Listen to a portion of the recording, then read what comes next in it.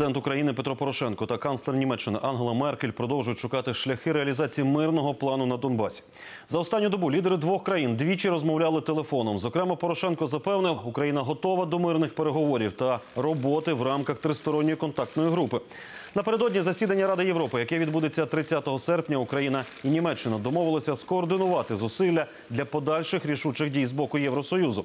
Сьогодні ж вночі Ангела Меркель мала телефонну розмову із Володимиром Путіним. Канцлер наполегливо попросила його роз'яснити, що російські війська роблять на території України. Також Меркель нагадала Путіну про відповідальність за деескалацію конфлікту на та забезпечення контролю на своєму кордоні.